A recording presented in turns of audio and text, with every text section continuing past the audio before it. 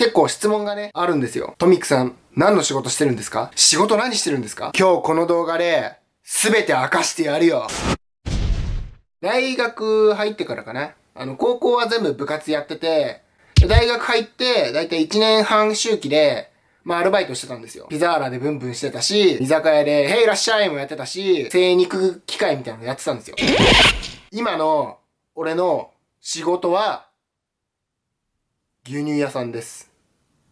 マジです。牛乳屋さんって舐めちゃダメだよ。牛乳屋さんって結構大変なんですよ。朝4時ぐらいに起きて、牧場に行って、牛の乳からこう、ギボギボ絞ってくるんですよ。樽に詰めて、こう、ブンブンブンブンパララララパラララララみたいな感じで、朝の5時ぐらいに牛乳の押し売りに行くんですよ。ピンポーン。はーい。桃牛乳で、いらないでーす、ガチャン。そんな押し売りを、まあ朝5時から、だいたい8時ぐらいの、えー、っと、6、7、8、3時間押し売りに行くんですよ。押し売りに行った後に、牧場に帰って、まあ、牛の世話して、余った牛乳をチーズにして、そのチーズをスーパーに売りに行くんですよ。ウィンチャララララランチャラララ、へいいらっしゃいあ、すいません、チーズで、桃ミルクの人？あ、いらないっすわ。まあ、こんな感じでスーパーとかコンビニに、まあ、チーズを押し売りに行って、だいたい12時ぐらい。12時ぐらいなんですよ。昼休憩割って、1時から乳搾りです。牛からギボギボ絞って、乳が出なくなった牛は、あの、トラックに詰められて、あの、牛角へ直行するんですけども、牛角行きの牛のトラックに誘導する仕事がだいたい2時から3時ですね。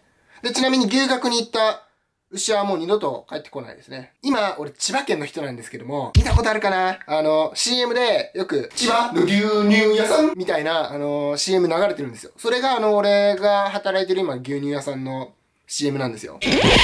あの、牛乳屋さんマジ舐めない方がいいっすよ。牛乳屋さんは人々の生活を支える朝のその元気の源、その牛乳の白ってなんで白いか知ってますか？あれは純白の白って言って、その純白さに心が現れて、純粋な心で頑張るぞっていう意味を込めて、あのー、牛が白い乳を出してるんですよ。本来あれ、あれですからね。牛乳っていうのは牛の血液、赤色なんですよ。牛の愛によって白く変わるんですね。多分あと5年ぐらいは牛乳屋さん続けるんですけども、牛乳っていうのはやっぱり需要があるんですよ。お菓子作ったり、チーズ作ったり。ね、ピザ作ったりするのに牛乳っていうのは必要なんです。就活とかでね、困ってる人、ぜひ、牛乳屋さんをお勧めします。それではまた次回もよろしくちゃん。みんなもぜひ牛乳を飲もう。ぜひチャンネル登録、そしてグッドボタンお願いします。パソコンの方は下のチャンネル登録ボタンをクリック。スマホの方は説明欄のところに書いてありますので、ぜひよろしくお願いします。